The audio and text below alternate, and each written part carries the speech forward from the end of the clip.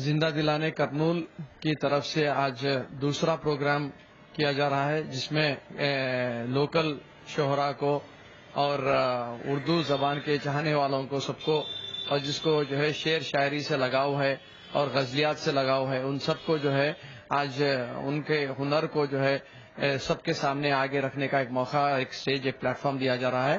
اردو زبان کی ڈیولپمنٹ کے لیے اردو زبان کے کو چاہنے والوں کو سب کو ایک جگہ پہ لانے کے لیے زندہ دلانے کرنول بہترین کام کر رہی ہے۔ میں ان سب کا شکر گزار ہوں۔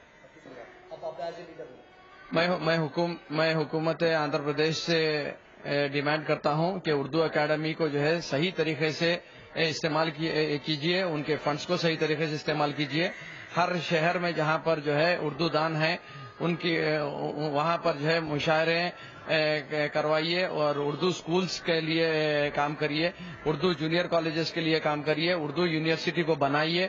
آج تک اردو یونیورسٹی کا ابھی تک کام شروع نہیں ہوا ہے۔ کہ اردو کو اگر آپ کو زندہ رکھنا ہے تو یہ سب کام کرنا ہے۔ اسی کے لیے اردو اکیڈمی ہے، بٹ اردو اکیڈمی بھی کچھ خاص کام نہیں کر رہی ہے، صرف جو ہے آنکھ آنکھ میں کے آنسو پہنچنے کا کام کر رہی ہے۔ مگر جس طریقے سے اردو کی ڈیولپمنٹ کے لیے کام ہونا چاہیے، وہ آج آندھر پردیش میں پوری طریقے سے ٹھپ ہو کر پڑا ہوا ہے۔ زندہ دلانے کرنول کی طرف سے یہ بتانا چاہتا ہوں کہ یہ تقریب جو آج منائی جا رہی ہے، یہ زندہ دلانے کرنول کی طرف سے ہو رہی ہے اور میں اس کا صدر ہوں اور ہم نے اس بار مشاعروں کے ساتھ لطیفہ گوئی اور موسیقی کا بھی انتظام رکھا گیا ہے، جس میں غزلیات سنائی جا رہی ہیں۔ اور یہ غزلیات ہی اردو کی جان ہے اور اس کی وجہ سے سبھی لوگ بہت ہی محدود ہو رہے ہیں اور کثیر تعداد میں جمع ہوئے ہیں۔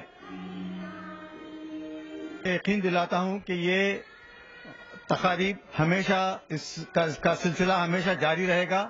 ہر مہینہ سیکنڈ سیٹرڈے کو یہ تقاریب بنائی جائیں گی۔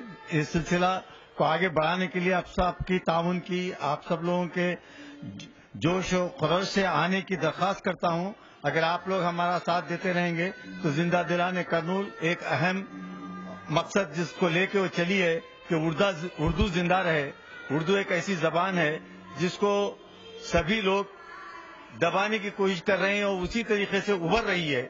اور آج یہ انٹرنیشنل زبان بن چکی ہے۔ اس لیے میں سب